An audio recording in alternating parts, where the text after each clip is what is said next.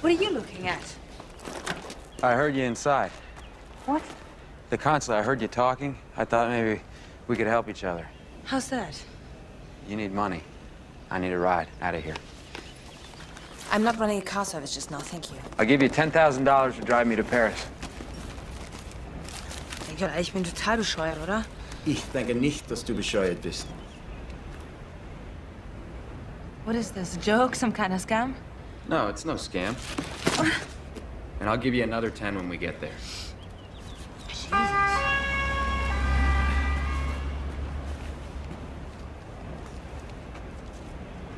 Is that for you? Look, you drive, I pay. It's that simple. Scheiße. I got enough trouble, okay? Okay.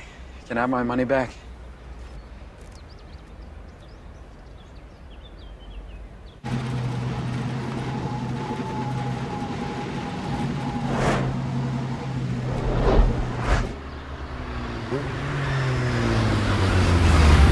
All right, go. Keep going.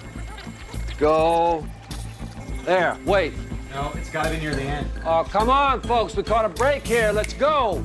Okay, I'm up. We're getting grids. Airline, train, hotels. Just get the address, the street. Get in sight. There we go. I got it. I think I got it. Is it him?